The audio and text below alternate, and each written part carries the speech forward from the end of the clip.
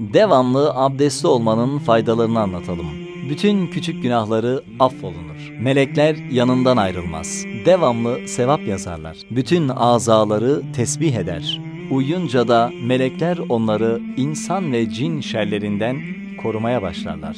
Can vermesi kolay olur. Namazı kılmak kolay olur. Oruç sevabı kazanır. Rızkın genişlemesine sebep olur. Abdestliyken Allahü Teala'nın ehemmiyetinde bulunur. Namazdayken cemaate yetişmek için iftitah tekbirini de kaçırmaz. Ve son olarak 12.si şehadet mertebesine abdestli ölürse kavuşmuş olur.